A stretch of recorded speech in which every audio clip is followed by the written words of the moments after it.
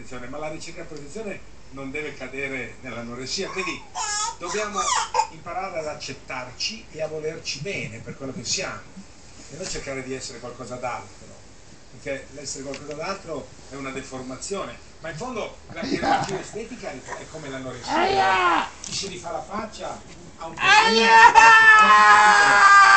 Come, come la natura, quindi c'è tutto un grande problema.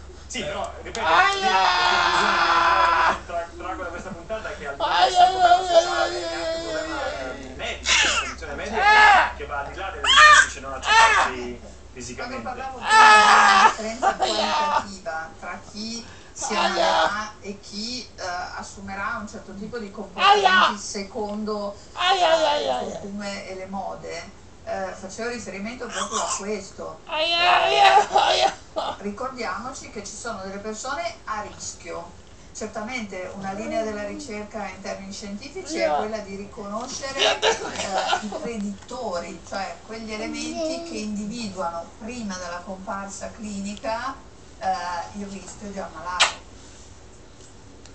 Sì, Vorrei aggiungere che eh, ci sono due dati di cui bisogna tenere comunque conto, e cioè che ne- solo nel mondo occidentale esiste questo problema.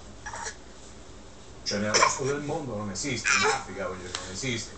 Quindi, c'è proprio un problema, diciamo, anche di, di materia prima in chiaro, alcune, in alcune zone della esiste, esiste assolutamente solo nel mondo, nel mondo occidentale. insomma.